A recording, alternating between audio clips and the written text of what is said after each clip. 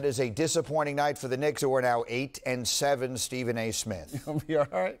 I'm, I'm, I'm concerned. And the reason why is because Julius Randle and R.J. Barrett still don't use their right hand.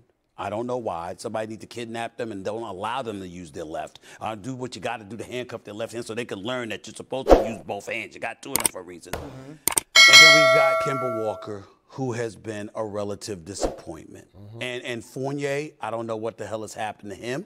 He's fallen off. And I'm looking at Tom Thibodeau as well because the offense seems fairly predictable.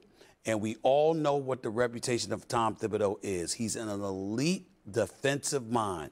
Offensively, he's a bit challenged at times. And when I'm looking at the personnel, they clearly don't have better personnel than Chicago, Milwaukee, Brooklyn, Atlanta, Philly, and stuff like that. You got to play defense and you got to get elevated level of production, and it ain't happening, and I'm not happy home, about it. Stephen A. Not, it's not good. 98 points. It's not good.